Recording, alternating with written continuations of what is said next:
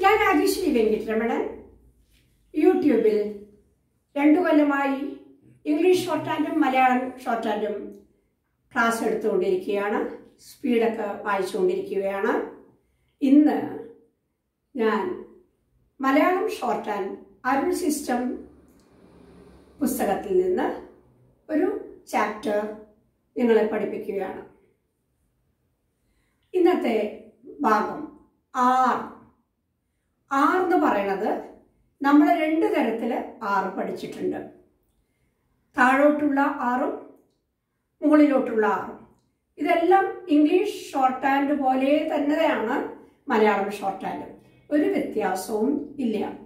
അപ്പൊ നമ്മൾ ആർ ശബ്ദത്തിന് വേണ്ടി രണ്ട് തരത്തിൽ ഷോർട്ട് ഹാൻഡിൽ ഔട്ട്ലൈൻ എഴുതിക്കൊണ്ടിരുന്നു ഇനി ഇപ്പോൾ ഒരു ചെറിയ ഹുക്ക് ഇടുമ്പോൾ അത് ആർ ശബ്ദം വരുന്നതാണ്.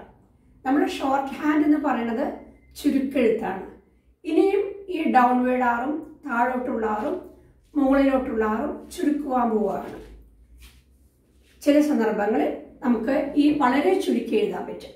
അപ്പോൾ ഇന്ന് ആദ്യം തന്നെ നമ്മുടെ പി വെച്ച് നമുക്ക് പർ ബർ ടർ ഡർ ചർ ജർ കർ ഗർ മർ ഞ നമ്മൾ ആദ്യം പഠിപ്പിച്ചിരിക്കുന്ന ആ രേഖകൾ തന്നെയാണ് അതിന്റെ കൂട്ടത്തിൽ ആദ്യ ഭാഗം.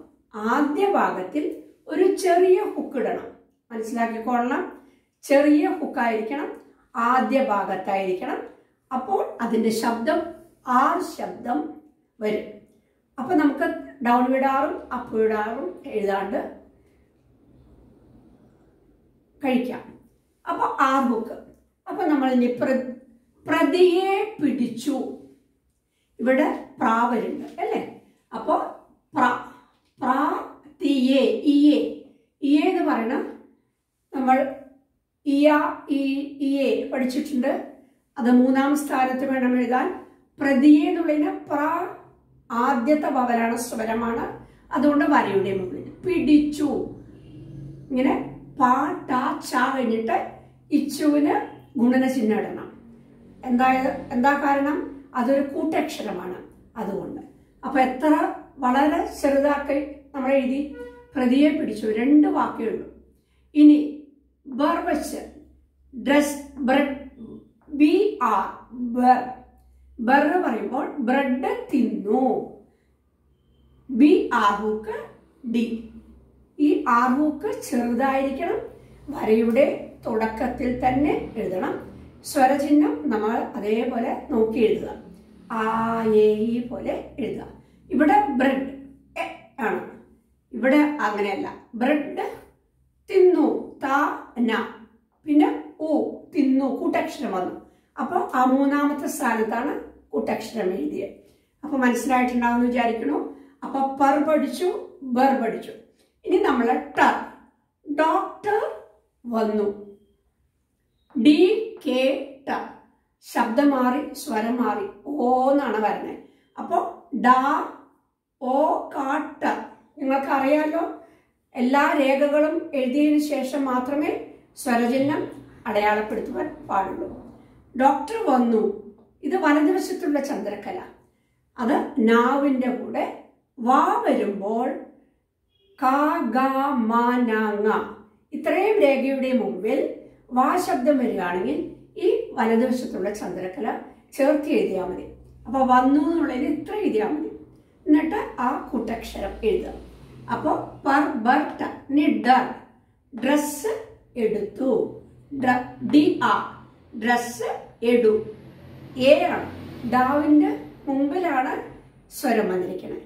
അപ്പോൾ ആദ്യം സ്വരം കാണണം. എടുത്തു എടുത്തു. ഇനി ച. ടീച്ചർ പാഠം പഠിപ്പിച്ചു. Teacher T. Through the line എഴുതണം. ച. പാഠം. അന്ന് വരുമ്പോൾ ചെറിയ വൃത്തം എഴുതണം. അത് ഒന്നാം സ്ഥാനത്ത് മാത്രമേ എഴുതാൻ പാടുള്ളൂ. പാഠം പഠിപ്പിച്ചു. അത് നിങ്ങൾ പറഞ്ഞുകൊണ്ട് എഴുതുമ്പോൾ കറക്റ്റായിട്ട് രേഖ കറക്റ്റായിട്ട് എഴുതണം.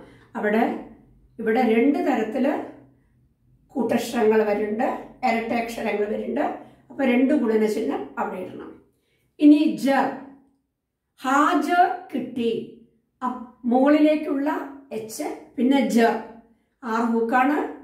രേഖയുടെ മുമ്പിൽ ചെറുതായിട്ട് ഒരു ഹൂക്കിട്ടാൽ അത് ആർ ഹൂക്കായി. അപ്പൊ മൂന്ന് തരത്തിലാണ് നമ്മൾ ആറിന്റെ ശബ്ദം ഷോർട്ട് ഹാൻഡിൽ ചിഹ്നം ഉള്ളത്. ഹാജർ കിട്ടി.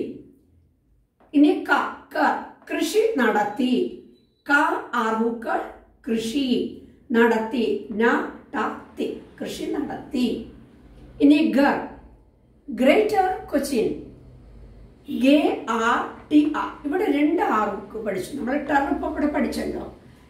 അതേപോലെ ഇവിടെ ടെർ പഠിച്ചു. ആ ടെർ ഒരിക്കൽ കൂടി ഉപയോഗിച്ചു ഗ്രേറ്റർ കൊച്ചിൻ. കെ ച ന. ഇനി കുറച്ച് ചാപ്റ്റർ കൂടി കഴിഞ്ഞാൽ ഇത് കുറച്ചും കൂടി ചുരുക്കി എഴുതി നമ്മൾ ഇത്രയും കൂടി വേണ്ടി വരില്ല. ഇനി മർ അമർനാഥ്. ആ മർ നാ ഇതൊരു സ്ഥലത്തിന്റെ പേരായതുകൊണ്ടാണ് അടിയിൽ രണ്ട് ചെറുതായിട്ട് ചെറിയ വരയിട്ടിട്ടുണ്ട് അതിന്റെ അർത്ഥം ഇതൊരു നാമമാണ് നമ്മൾ മനസ്സിലാക്കണം. ഇനി നർ. നർ നർത്തകി. നർ. നർ എഴുതിയിട്ട് ഇത്ത ക നർത്തകി. അപ്പൊ ഇപ്പൊ നമ്മൾ മൂന്ന് തരത്തിൽ ആറ് പഠിച്ചു കഴിഞ്ഞു. മുകളിലോട്ടുള്ള ആറ് താഴോട്ടുള്ള ആറ്. ഇവിടെ ആറ് പഠിച്ചിട്ടുണ്ട്. നിങ്ങൾ എല്ലാവരും ഇത് പഠിക്കുക. സബ്സ്ക്രൈബ് ചെയ്യുക ലൈക്ക് ചെയ്യുക കമന്റ് ചെയ്യണം. ഓക്കേ.